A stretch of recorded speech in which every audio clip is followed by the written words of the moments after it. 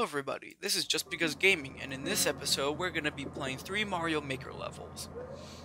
This first level is called Hannah Montana, and it's a 20 second speed run. In the beginning, I grabbed this first green shell to throw against the power block, and I'm going to do the same but this time in midair. Secondly, I'm going to throw the green shell up to clear my path from munchers. Now I'm gonna jump off of it of this green shell and I'm gonna slow this down so you guys can understand.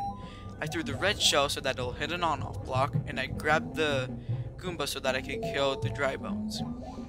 I ate the boulder, turned on the switch, hit the P switch with the boulder that I swallowed.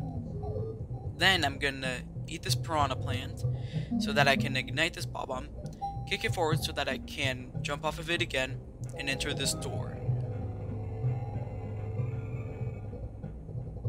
Here's what I just did in full speed.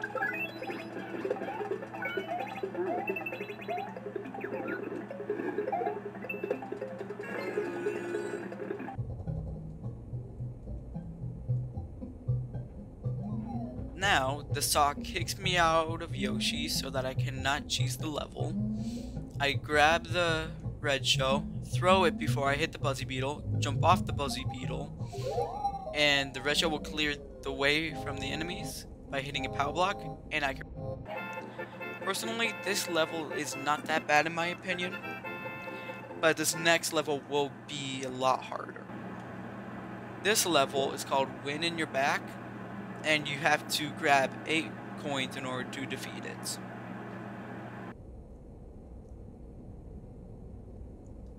The level begins by having me grab a shell and collect my first coin.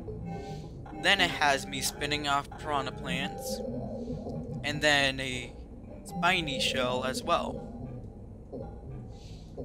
I jump full at this part so that I can reach the top, throw the shell to break the block, and then I go into a bone shell to jump out of. Here I kick the spiny forwards twice, spin jump off of it to collect the last coin, touch the moonset that defeats the enemies in my way, and I can touch the flagpole.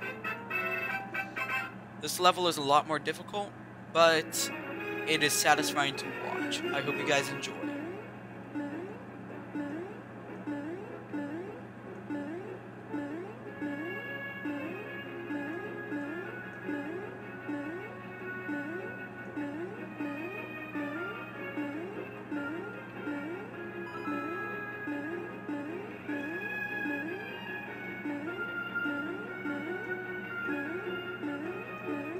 Thank you guys for watching this video. Please like and subscribe if you do like my content. There will be another video waiting for you, and goodbye.